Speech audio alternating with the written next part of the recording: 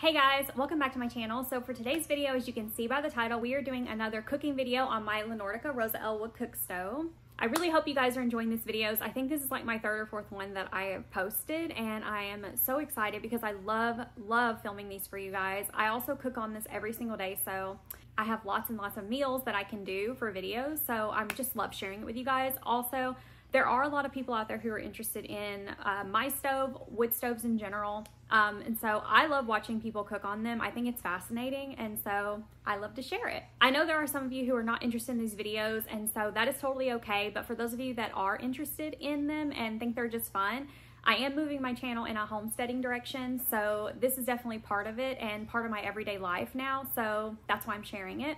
Also, it is currently Pantry Challenge. I mentioned in a previous video that Last year after my garden, I pressure canned all of my garden food and froze some things, but mostly I put everything on the shelf in shelf stable jars and pressure canned it. So it is pantry challenge season right now. It's a big thing that homesteaders do on Instagram and on YouTube here. Um, lots of homesteaders do it and it's basically where you spend the whole month of January or you can go into February, but as long as you can, basically, you do not go to the grocery store. You eat what you have and eat what you harvested from your garden from the year before. So that is what we are doing. So for today, we are making braised short ribs. Now, I don't actually have short ribs. Again, part of Pantry Challenge, you use what you have. And so I actually have pork ribs, but I've been seeing people cook braised short ribs for years. I've always seen them and it always looks so complicated, but I was like, you know what? I've got a, some red wine left over from last year. Um, I have some pork ribs in my freezer and I also have some beef stock that I pressure canned last year after garden season. And so I was like, I have got all the stuff to make this. So we're gonna make some braised short ribs today, AKA braised pork ribs because I don't have short ribs. So I'm really excited and I hope you guys enjoy this video. So I'm gonna go over everything that you need. You definitely need a Dutch oven. This is actually my smallest Dutch oven that I have. And I know you're like, it's a pumpkin. I know it's so cute. My sister actually bought this for me a couple years ago and I've never used it. I've never used it. I have a much larger uh, Dutch oven and um, I always use that one. This one is small enough. It's my smallest one. It'll fit in my wood stove, which is perfect. You need oil. You need a red wine. It can be a cheap one. Um, this was a gift from my neighbor last year. It's just a red Cabernet. These are my side items, but I'm doing green beans, potatoes, which is traditionally to be served with, with the ribs. And then I am doing carrots for the stock, which these are already pressure cooked but I'm gonna put them in anyway for the flavoring for the sauce, the braised rib sauce. I have a beef broth here, which you need to cover the ribs with. If this isn't enough, I have some more, but I'm just gonna start with one jar. But look at that delicious beef broth that I pressure canned last year. I'm just, I'm so excited to use this, honestly, because there's so much good flavor already in this. This isn't just beef broth. This is actually from a huge thing of beef stew that I made and I have a bunch of these and it's just so good. You can see that fat layer on there. It's delicious. This has garlic and rosemary and so many good things already in there. So yeah, I'm excited about that. That's going to be super flavorful because typically to make that um, braised beef sauce, you need an onion, which yes, you got to have an onion. You need carrots and celery to like put in there, make the base for your sauce, you know, kind of like to make that broth, which this is going to already be so flavorful. I'm not even worried. So I'm going to use celery flakes because I don't, it's dried celery basically because I don't have any celery, but that's going to be fine. I'm doing thyme and rosemary as my herbs. You can just do rosemary. You can leave out the thyme. You can do whatever you want, I guess. And then I'm doing pork perfect rub for my rib rub. Um, and then I'm going to do onion powder and garlic powder on them as well um, because I just, these are just my two staples in life. I love them. So yeah, we are about to get started. First thing we gotta do is season these ribs and then we have to sear them in the bottom of the crock. So we're gonna do that first. All right, I'm wearing gloves to protect my nails, but you don't have to. Um, I'm about to chop this onion and then we're gonna season that pork and get it uh, seared. And once we sear that meat, we set it aside and we're gonna saute this onion, so that'll be really good. This isn't a large onion. I'm only making enough for Patrick and I, um, so it doesn't have to be anything crazy here. Also, if you hear my baby, he's in his swing behind me. We're alone today, so I'm trying to do this while Daddy's at work, so it can be done by the time Daddy gets home. Isn't that right, baby? Yes, you're doing so good today.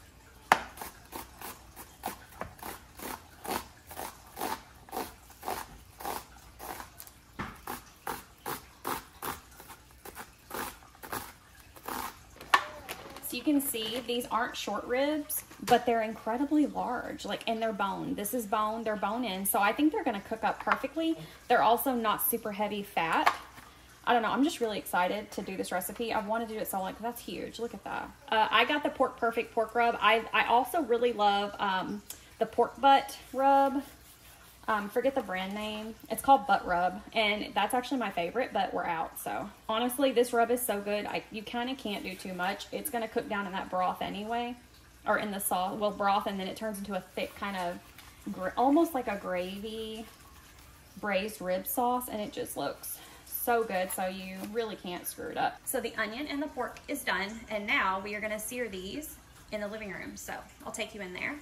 All right, so I have my pot hot. My pot is hot, my Dutch oven.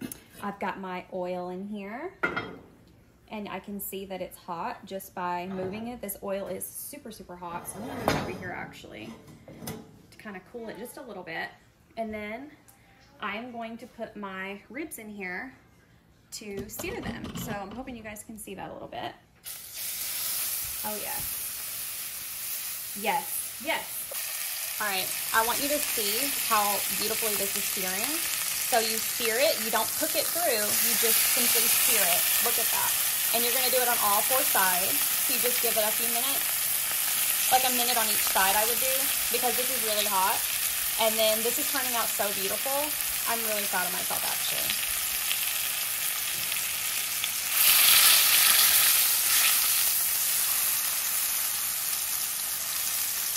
Oh, it looks so, so, so good. So good. We're going to do this to all four ribs.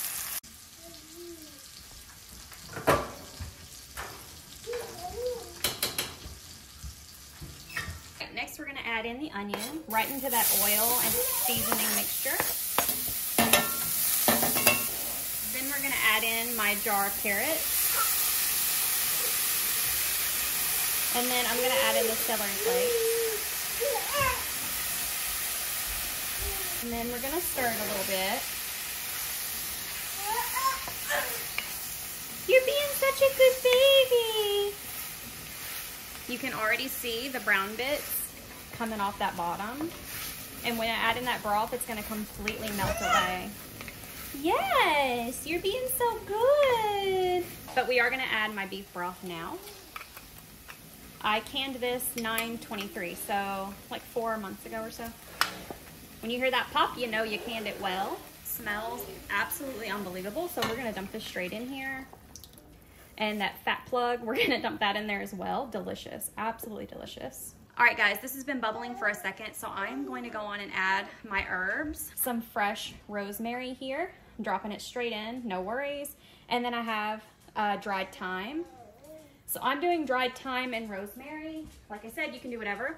And then I am adding in the rest of my bottle of wine here. Um, I would say there's at least a cup and a half in here, um, and probably not much more than that. Again, I'm using a, a Harry and David's Cabernet Sauvignon. This is a red wine that I've had since last year, and it just needs to be finished off. And I'm adding all of it, just like so. All right, guys, so this is what it's looking like at the moment. I haven't stirred it yet, but I'm about to. It smells unbelievable. This is what's gonna make that thick stock gravy at the end of the recipe that you pour over top of the ribs. Don't worry about all the bits and you know, this looks like a mess, right? Like you're like, who wants to eat twigs of rosemary? No, you strain this in the end and then you pour it over the ribs and after it bakes in the oven, it's gonna be amazing. At least I hope, I've never had it, but we're experimenting today, guys. My oven's at 450 and I wanna keep it there. So I'm gonna toss the log in. Oh yes, it's boiling. Well, I guess you couldn't see. It's boiling beautifully. Right, here are my seared pork ribs. And I'm gonna put all four of them in here. And they do have to be covered with the broth. So it should cover nicely once they're all in here. And I do think they will all fit because there is so many juices in here. It looks so good. Oh, look at that. Oh my gosh. Oh, it smells divine. That wine, I can smell the wine. Oh, I'm just so happy. I'm just so happy. Okay. All right, we are gonna put this in the oven on top of the pan. I've already got my pan in here. Here we are. I'm gonna sit it on my roasting oven I'm sitting it on my roasting pan just as like an added layer of protection for my Dutch oven and my stove. And then we're gonna slide it in there. And it's gonna cook for two hours until those ribs are tender and that stock thickens up really, really nicely. All right, guys, the last thing we gotta do is pop all of these lids on the sides. You're not supposed to store your canning jars with the rings on, but I do. Um, I just check my seals before I pop them. They're all perfect. And then you'll also hear it. It's perfect, perfect green beans. And then I'm doing, um, and then these I'm gonna drain and then I'm gonna put them in a pan and I'm going to season them and then I'm going to put butter and seasonings and garlic and I'm gonna make mashed potatoes with these. Sometimes I roast them in the oven with seasonings, but this dish calls for some mashed potatoes. And we are getting through the pantry challenge so great. Perfect. All right, guys, my baby's asleep, so I'm doing this oh so quietly. Um, the ribs are still in the oven. Um, I've let the fire die down a little bit. It's got my oven at 350 exactly, which is perfect. And right now I'm about to get these potatoes heated. I got some pepper, salt, butter, some Irish butter, and garlic powder, onion powder, and a little bit of milk because I'm going to heat this and get it boiling. And then I'm going to um, make this a creamy mashed potatoes. And then these are just green beans and they're just heating. And then I add pepper at the end. All right, so it's been two hours. So I'm gonna check the ribs and see how tender they are if they're not falling off the bone, they're not done. Oh my gosh. Oh my goodness, yes, look. You see how this is just disintegrating? That is what you wanna see. They are done. So perfect. Oh my gosh, it smells so good. Ribs out of here, very carefully, because they are falling apart. Oh my gosh, it looks so good because we are going to strain this broth. So I'm to put my ribs into here very delicately because they are falling apart. Ooh, it's to be hard to get them.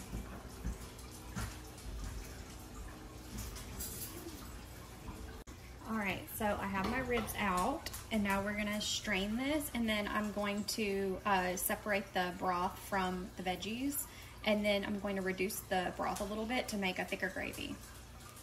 Okay, so you're gonna wanna use a sieve in a big bowl and press your veggies down to get all the juices out. You can eat this if you want to. Um, it does have big chunks of herbs in it, but it's gonna be super concentrated. So, all right guys, we are almost there. We've got our ribs here. They're still extremely hot. They're just waiting for the gravy to be done. And then I have some creamed, these are creamed garlic butter mashed potatoes. However, they're purple, so I grew these potatoes and they're purple potatoes. That's why they're not white. these are never gonna be white because they're purple potatoes. So they look like a really light lavender purple, um, but we're almost done. All right, I have reduced this quite a bit. You can see the line right here. That line is where my gravy was. And I've reduced it down quite a bit. It's actually thickened up really nicely. You can see how thick it's getting. So now I'm gonna add a little bit of butter. Um, I'm gonna add some of this Echiré French unsalted butter. They do make a salted version, but this is so salty already. I'm just gonna add the unsalted. This is a really delicious butter that I got. It's a French butter and I got it from Marky's. They're based in Miami and I think New York as well. Um, you can buy it on their website, but I got this uh, for the new year and it's just so good. I've been using it to eat raw and cook with. This is just such a delicious butter. Um, I have not seen it found anywhere other than Marky's. Um, so that's where I got it. I'm just gonna put a, a cube about like that in there just to make this really kind of buttery. And I saw someone on TikTok do this, honestly, and it just looked like it dissolved into that gravy and thickened in there so beautifully. And then the next step after this little bit of butter, we are gonna put our ribs back in here and we're gonna baste our ribs with this thickened gravy. Like look how thick that has gotten. This is what you wanna see, but you wanna be careful not to burn it. See how thick that is? Oh, it's beautiful. All right, so we got our uh, butter in there. Now we're gonna put our ribs in there and we are going to toss it in there and then we're going to plate it up. And then we're done. All right, guys, we are gonna plate this up. I'm using my homegrown purple potatoes and I did cream these.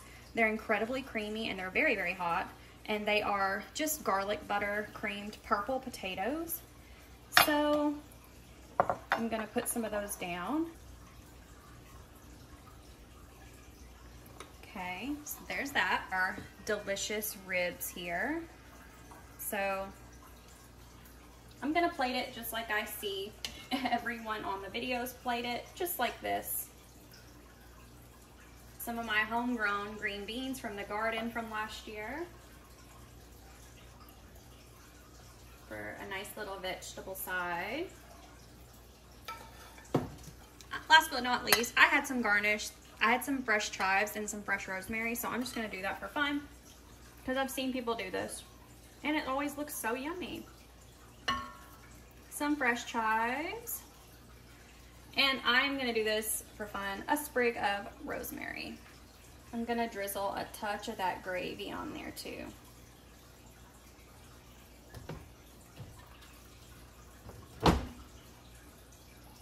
It's so thick, it looks so good, oh my goodness delicious. So yes, so yes, that is my finished product with my purple potatoes from the garden and my green beans from the garden. I already tasted this and it tastes absolutely amazing. So I'm really excited for Patrick to try it. I think he's really gonna love it. So yeah, that is my beef braised ribs in a red wine sauce, but with pork. All right, guys, that is it for this video. I hope you guys enjoyed watching me cook these ribs. They were absolutely amazing. I can tell you we have already eaten them and they were absolutely delicious. I definitely will be making this again. If you guys want to see more videos like this or anything else here on the property, feel free to leave it in the comments down below. I hope you guys enjoyed watching me cook on my wood cook stove. Thank you so much. I will see you guys next time. Be kind. Bye.